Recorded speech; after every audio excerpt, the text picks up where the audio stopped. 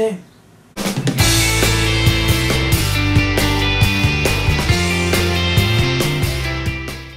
joked about it for so long, eh? We never thought it would happen. Well, yesterday it did. And you wouldn't have found a person that wasn't buzzing with the news. I can't remember the last time those fans properly buzzing. Fans were buzzing when Joe came back a few years ago, but even then, I don't think it was anything of that standard. Everyone was just over the moon with it, and when you seen the pictures of um, obviously I put a few up on my social medias and stuff, and folk were going basically mental. It's crazy how we're all uniting around this one player. And that's what I'm saying, I didn't think it's really ever happened for a long time. Because even with the Joe stuff, like there wasn't this instant bit where you could then go and see him in a game and stuff. Well, he didn't play, but you could see him at the stadium and I don't know, there's just a bit of a buzz around it all, a bit of a buzz, a massive buzz, basically. And I, I'm, I'm lost for words really because although I knew it was going to happen, because I know I said in my previous video that I only thought it was going to happen and I didn't know how or when, I'd been given very reliable news that we were going to sign him. So that's basically how I was confident that he was going to sign. I wouldn't have said that if I hadn't been given the news that I did. I'm not going to bother saying who I got the news from and that's not me being attention seeking at all. It's just the fact that the person that told me didn't want me to say who it was or whatever and that's fair enough. But I, Um, I'm over the moon and having that guy back in a Dunfermline kit for however long we have him, whether it's just this season long loan or if it turns out to be longer than that, I'm no bothered. He's back in a Dunfermline kit for a sustained period of time and that's all you can really ask for. It seemed unlikely with all the rumours that were going about, about how he left and why he left and why he wouldn't come back and stuff like that. They are all buzz. They're all just rumours, that's all they are.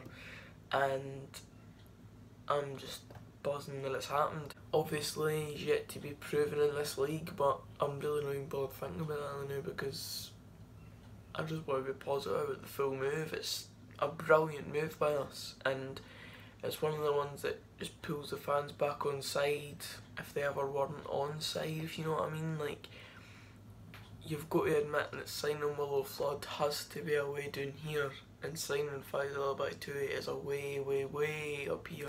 It's night and day, like night and day. Like you're never, you're never gonna get anybody doing more buzzing about any signing, far less we got on Willo Flood. I could go on and talk about how he did it Dundee and stuff, but I think that's been well documented. He just was played at a position at Dundee regularly, scored 8 goals in about 60 games, I think it is. It's obviously not the best record day, but that's mainly due to the fact that he was played on the wing. He was underutilised, really, and he was completely out of favour by the time it came to the end of this season. So out of favour that they didn't bother taking it to their pre-season training camp, didn't bother including on any pre-season friendlies, and maybe one, even after that. Aye, as I said, he, he fits right in with us and he knows what he gets when he comes to Dunfermline. He's getting fans that absolutely love and adore him, and the songs are back.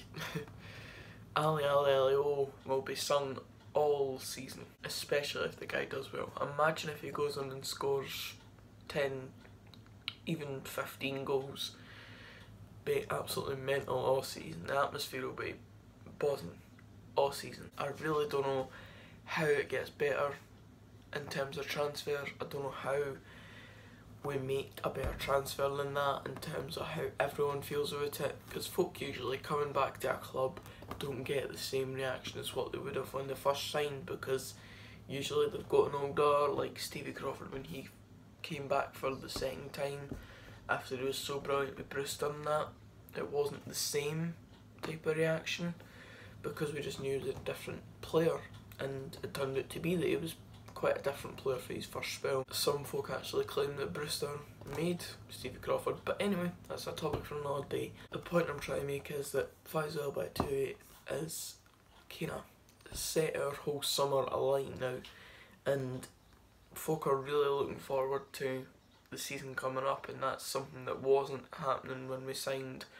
players like Willo Flood and stuff like that. It's just, it's brilliant. And the only other thing to touch on in this video is the fact that Myles Hippolyte should be signing today. As this as you're watching this it might be announced but I it's currently 25 past 7 on Friday morning when I'm recording this so he should be signing later on today. It's a dodgy signing and it's a weird one because we all know what happened at the end of that season and we'll just need to wait and see. We need to get behind the boy because he's now here and we can't we can't keep being fickle about it and hold grudges on things that happened literally just just over a year ago. Nah, for, for me it's water under the bridge. As long as he performs well on a Dunfermline kit, I'm really not that fast. Certainly caused a lot of uproar when he dived in that game and I remember it well. Let's see how it goes. Hopefully it turns out alright, but let me know your thoughts down below. Let me know your thoughts on the Faissal stuff. Let me know your thoughts on the Myles Hippolyte transfer. Presuming it goes through. I'm expecting it to go through really. And also if you were there last night, let me know about what you think of the trialist Jordan Chiedozie. Because I thought he was really good. And he scored about 30 plus goals for Margate last season. He's scored pretty regularly through his career as well. So do we take a punt on him? because that would basically be our signings kind of done now because we would have what, four, five strikers if you include Lewis McCann in the books and would have a good amount of attacking options if we sign Myles Hippolyte as well because he's another winger slash forward. We'll see how it all goes but as I said I'm expecting Myles Hippolyte to sign later on the day but let me know what you think. That's it for this video guys. I'm buzzing with the Faissal news as I've said. I hope you are too. I assume you are. But I let me know what you think and I'll see you in the next video which will probably be I'm not sure. I'm not sure what the next video will be. Maybe a match review for the World Cup final. If you did enjoy the video please give it a like and subscribe for more of this type of content. And I I'll see you then. Cheers guys. Oh,